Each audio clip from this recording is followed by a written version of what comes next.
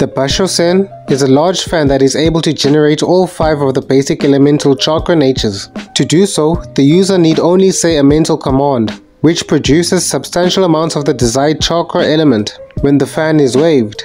The fan could also be used as a shield. The Basho-sen is revered as one of the treasured tools of the Sage of Six Paths. All five of the tools consume enormous amounts of chakra when used, so much so that normal humans would die after using the tools for only a short period of time.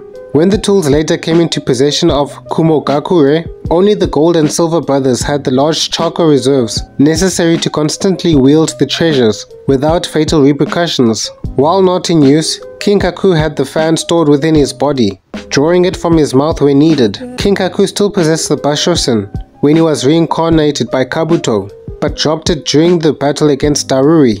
After Kinkaku was sealed away, Tenten found the Basho-sen and used it in battle destroying Kakuzu's lightning element mask before collapsing due to its high chakra absorption.